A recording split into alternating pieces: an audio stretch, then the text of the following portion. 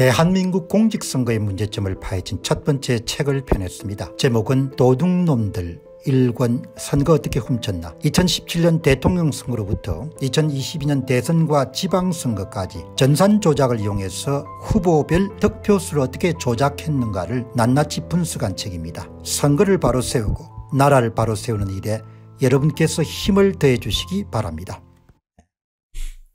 그래서 오늘 양국 중국, 일본 문제를 함께 살펴봤는데 오늘 여러분들 어, 이 보니까 오랜만에 이제 예스 24를 들어가 보니까 아주 짧게 평가한 평점들이 있더라고요. 예, 이 도둑놈들 1권을 읽고 부정선거로 인해 사회의 모든 것이 무너져 버렸습니다. 대명천지에 어떻게 이런 일이 일어났을까요? 이렇게 말씀하신 분이 글을 남기셨고 저는 읽어보고 평가하겠습니다. 예. 그 다음에 또 뭐 욕하는 것도 있습니다.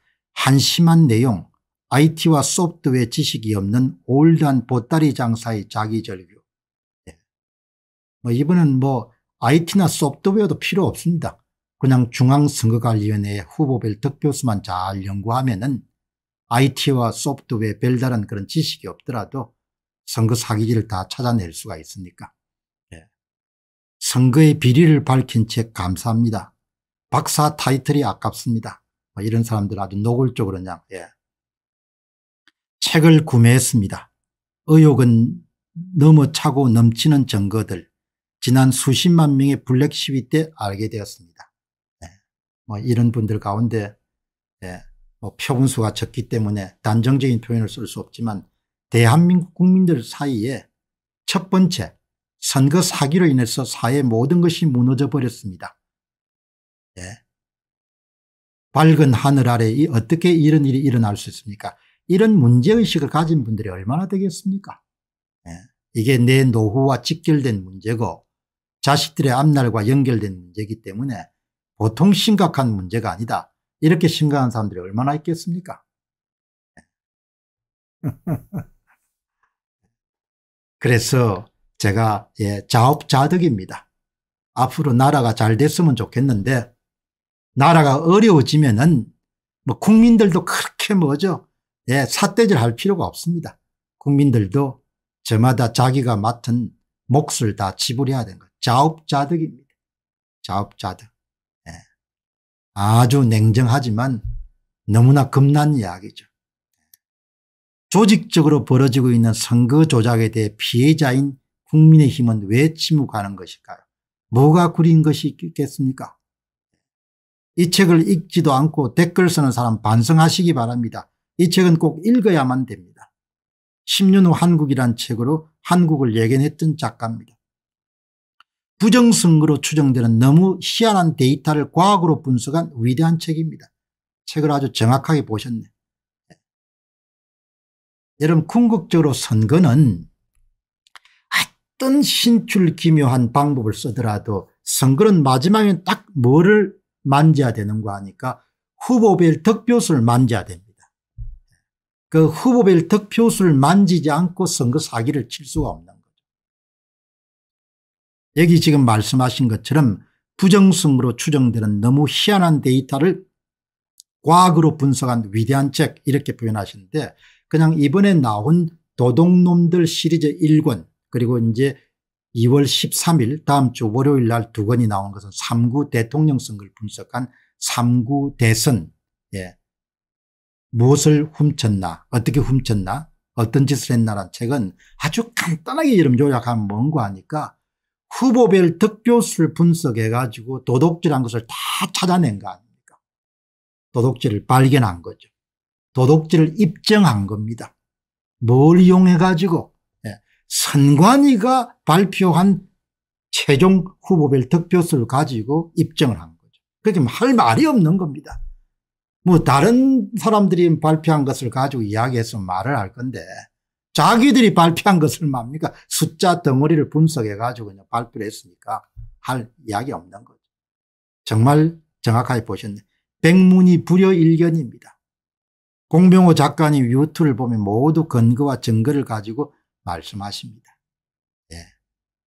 대학을 나온 사람들이 어마어마하게 많은 그런 나라인데 예. 선거 데이터를 그렇게 조작해도 아무도 항의도 안 하고 예. 뭐 정신들이 없는 거죠. 다음에 나라가 참 어렵게 돼도 할 수가 없는 겁니다. 뭐 어떻게 하겠습니까? 예. 할 수가 없는 겁니다. 음. 선거 사기로 추정되는 너무 희한한 데이터를 과학으로 분석한 위대한 책입니다. 예. 판매고가 뭐 예상보다도 좀 낮은 편입니다. 예. 그게 한국의 지금 사람들이 갖고 있는 선거 문제에 대한 인식인 거죠. 예. 판매고가 낮기 때문에 제가 고민하는 게 아니고 야 이거 참이 나라 수준이라는 거가 이 사람들이 진짜 자식들하고 참 고생을 많이 하겠구나. 예. 이렇게 중차대한 문제를 예. 이렇게 뭡니까 관심 없이 바라보니까 얼마나 앞으로 고생길에 응? 고생을 해야 되겠나 이런 생각이 드는 겁니다. 그 다음 또 이제 보니까 샀다. 진실이 거짓을 잡는 순간이 시작된다. 집필하시느라고 고생 많았습니다. 세상에 관심을 받겠습니다. 예, 오래간만에 예스24를 한번 들어가 가지고 예, 한줄 그는 서평을 남기신 분을 글을 봤는데 뭐 이 정도네. 예. 여러분 이게 참 있죠. 이 사람들은 절대로 자기들이 발표한 거대한 숫자 덩어리 후보가 얻은 득표수를 누구도 분석하리라고는 생각 안 했을 겁니다. 여러분 중앙선거관리의 홈페이지를 방문해 보시게 되면 3구 대선 종로구 데이터 뭐 3구 대선 성동구 데이터 3구 대선 서초구 데이터 굉장히 복잡합니다. 후보별로 이름이 있고 그 밑에 관내 사전 재외국민 동별로 관내 사전 당일 투표 관내 사전 당일표 있기 때문에 엑셀 파일로 굉장히 큰 파일이지 않습니까? 그거를 아무도 뭡니까? 예? 그거 이런 분석한다가 하 돈이 생기는 것도 아닌 누가 그걸 분석하겠습니까? 그래서 그 사람들이 안심을 했던 겁니다. 예. 그냥 국민의힘 후보한테서 한 25% 빼앗아 가지고 민주당 후보한테 더해 주더라도 예? 뭐이 사람들 아무 그냥 감각 없을 것이다 그렇게 생각하고 전국의 모든 선거구로 해서 다 뭡니까 표를 만진 겁니다. 그렇게 만진 자료가 선관위 발표 후보별 득표수를 발표가 된 겁니다. 그걸 발표를 안 했으면 영원히 묻혔을 겁니다. 그거를 발표를 한 겁니다. 그 발표한 자료를 엑셀 파일로 다운로드를 받아 가지고 어느 분이 그걸 분석하기 시작했습니까 저 지방에 사시는 낮에는 생업하시고 밤에 날밤을 새워가 여러분 그 데이터를 다 분석한 거 아닙니까 그걸 분석해가 여러분들 분석 보고서의 총괄 보고서가 여러분이 지금 보시는 이 도둑놈들 일권 선거 어떻게 훔쳤냐게 총괄 보고서입니다. 2월 13일부터 예 강론이 나옵니다. 개별 보고서. 2월 13일 날 대통령 선거에 대해서 두 건이 나오고 3월 10일 정도에 여러분들 지방선거에 두 건이 나오고 이렇게 나오는 겁니다. 5월 달에 4.15 총선에 대해서 두 건이 나올 겁니다. 네. 뭐 뻥을 치는 게 하나도 없습니다. 뭔가 하니까 그냥 대한민국의 세금 먹고 사는 선거 사무를 담당하는 중앙선거관리위원회가 발표한 공식적인 후보가 얻은 득표소 자료를 분석해 가지고 그 후보별 득표 자료가 모두가 뭡니까 조작됐다는 것을 찾아내서 발표한 겁니다. 그거를 제야 전문가 분석했는데 예? 여기에 있는 공병우라는 사람이 20대 뭡니까 경제학 학위를 하면서 수학으로 훈련받고 그 다음에 이러면 한 20년간 책을 한 100권 정도 썼으니까 책 쓰는 기술이 있는 겁니다. 그 사람이 숫자를 딱 보니까 이 자식들 이것들이 미쳤나라는 생각이 든 겁니다. 그래서 이런 그 모든 작업들이 2017년 대선부터 시작해 가지고 2022년 지방선거까지가 작업이 다 종결된 게 11월 중순입니다. 제가 12월부터 시작해 가지고 유튜브 방송을 40일 정도 마치고 난, 저, 중지하고 나서 그 다음에 책을 쓰기 시작한 겁니다. 3년 만에 유튜브를 시작하고 3년 만에 책을 썼는데 책을 쓰는 기술은 자동차 운전하는 거나 자전거 운전하는 것처럼 잊혀지지가 않더구먼요. 뭐 젊은 날 워낙 책을 많이 써놓으니까 그걸 가 때리 쓴 겁니다.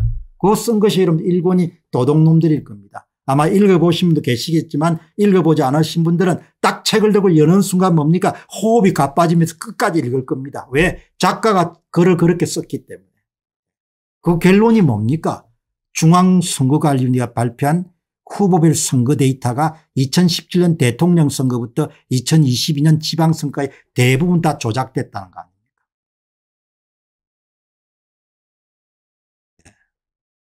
표를 만드는 겁니다. 득표 숫자를. 표를 만들어 가지고 마치 투표자들이 던진 득표 수처럼 그렇게 포장을 해서 발표를 한 겁니다. 국민들이 사서 읽어야 되죠. 네. 남나라 아니고 자기 나라니까 뭐 안 읽을 수도 있습니다. 노예로 살려면은. 네. 노예로 살려면은 뭐 읽지 않아도 관계없는 거죠. 노예로 안 살려면 읽어야 되는 거죠. 그러나 지금 서점에서 팔린 속도를 보게 되면은 네. 노예로 살기로 시작한 사람들이 너무 많다는 겁니다. 조선 사람으로 사는 겁니다. 조선 사람은 다 시민들이었으니까. 시민이 없었지 않습니까? 자기가 지도자를 뽑는 시민이. 그래서 예? 지금 나라가 돌아가는 꼬라지를 보니까 예? 다 고생하겠다. 예? 국민들이 자업자득하겠다. 그래서 나중에 잘못되면은 울고불고 할 필요 없다는 겁니다. 예. 어차피 인생은 쿨하지 않습니까? 본인이 선택하고 본인이 책임지는 겁니다. 오늘 이 자리에 있는 공병호란 사람은 40대 50대가 해야 될 일을 예? 뭐 아까 그 젊은 친구들이 무슨 올드보이 그래 올드보이다 난 육체적으로 올드보이지만 정신 하나는 너희보다 훨씬 더 젊다 이야기죠.